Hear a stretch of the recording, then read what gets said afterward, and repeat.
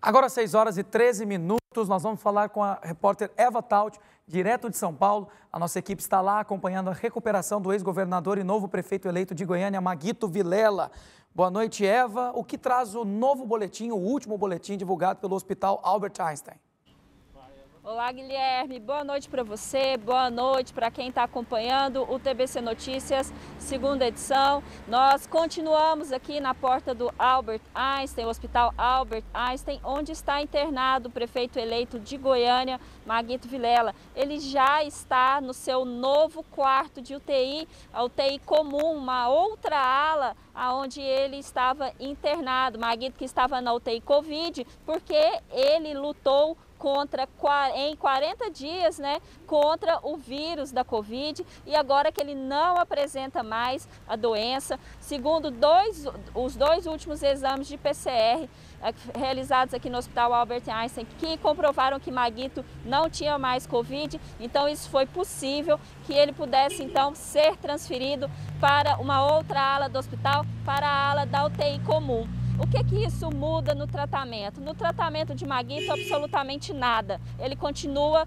tratando as sequelas provocadas pela doença, mas muda no aspecto do conforto de Maguito Vilela, do paciente, porque a partir de agora, como ele não tem mais a doença, ele não, não tem a chance de contaminar ninguém, ele pode ser acompanhado por, um, é, por uma, uma pessoa, né? ele pode ter um acompanhante, ou ele também pode receber visitas, se assim o hospital permitir, a política do hospital permitir é, visitação durante esse período de pandemia. Então, Maguito Vilela segue o tratamento. Uma outra, uma outra notícia de hoje, Guilherme, foi dada pelo médico pneumologista Marcelo Rabarri, ele que é genro de Maguito Vilela, está acompanhando de perto aqui a situação do paciente Maguito, ele disse o seguinte à imprensa hoje, que não há previsão de alta para que Maguito saia aqui do hospital, nem que ele saia da UTI, tão pouco que ele saia, que ele deixe a unidade de tratamento aqui.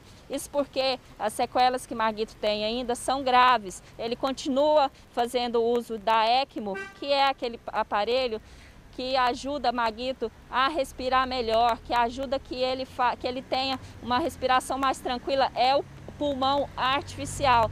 Também ajuda que o sangue, né, que o coração dele trabalhe com mais é, como se diz, né, com, com mais normalidade né, dentro do quadro grave de saúde dele. Maguito também continua em hemodiálise. Só lembrando que a gente não tem um novo boletim de saúde de Maguito Vilela. Esse que eu estou lendo para vocês é o boletim que foi divulgado ontem às, 6 e 40, às 5h45 da tarde. Então, há mais de 24 horas não temos um novo boletim, uma atualização do estado de saúde de Maguito Vilela. Mas é, é o seguinte, ele está em ECMO, faz hemodiálise, diálise, continua em traqueostomia e tem boa condição de oxigenação, além da estabilidade hemodinâmica. A gente vai continuar aqui na porta do Hospital Albert Einstein e a qualquer momento que sair o um novo boletim, eu volto com você.